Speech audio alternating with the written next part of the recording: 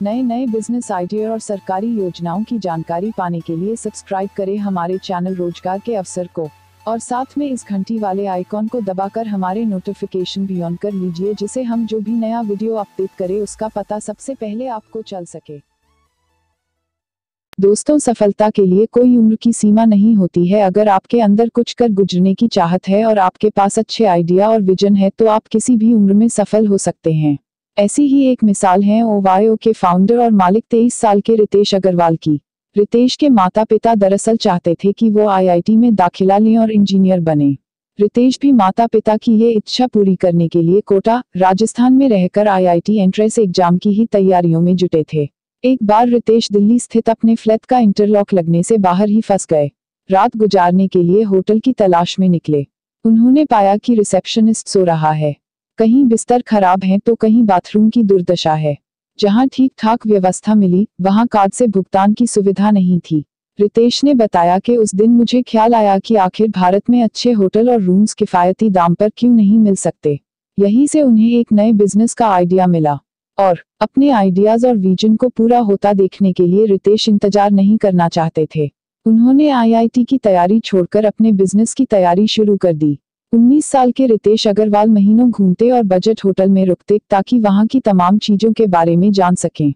अपने अनुभव के बल पर रितेश ने अपने पहले स्टार्टअप यात्रा की शुरुआत की। उसके बाद, रितेश ने एक वेबसाइट तैयार किया, जहाँ वो सस्ते और किफायती होटल्स के बारे में जानकारी देते थे। इस वेबसाइट का नाम रखा ओरावल। कुछ दिनों तक वेबसाइट चलाने के बाद रितेश को लगा कि लोग शायद नाम के चलते वेबसाइट को समझ नहीं पा रहे हैं। इसलिए उन्होंने साल 2013 में उसका नाम बदलकर ओयो रूम्स कर दिया। द न्यूयॉर्क टाइम्स की सीबी इंसाइट्स ने ओयो रूम्स को उन कंपनियों में रखा, जो भविष्य में सफलता का परचम लहरा सकती हैं। आपको बता दे ओयो एक ऐप है जिसके ज़रिए होटल की बुकिंग की जा सकती है। पूरे भारत में इसके 500 होटलों में पचास हज़ार से भी ज़्यादा कमरे हैं। ओयो रूम्स जैसी सफल कंपनी को खड़ा करना इतना आसान नहीं था। कॉलेज छोड़ने के बाद अपनी खुद की कंपनी खोलने के लिए रितेश ने कड़ी मेहनत की थी। एक वक्त ऐसा भी था जब दिल्ली में मकान मालिक ने उन्हें अपने घर में घुसने भी नहीं दिया था। उन्हें कई दिनों तक उसी घर की सीढ़ियों पर रात बितानी पड़ी थी। लेकिन फिर भी उन्होंने कभी हार नहीं मानी और आज उनकी कंपनी का टर्नओवर 360 करोड़ रुपए है।